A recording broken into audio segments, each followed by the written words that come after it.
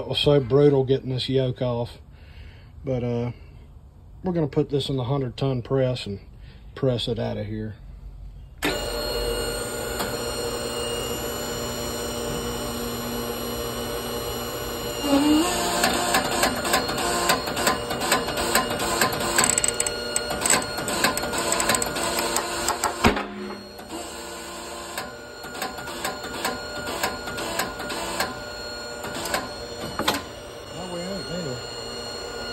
That's sketch as shit.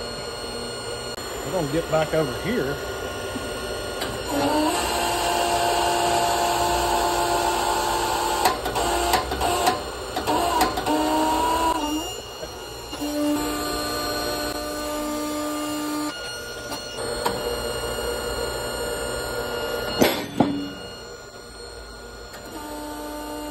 That's good. Nobody died.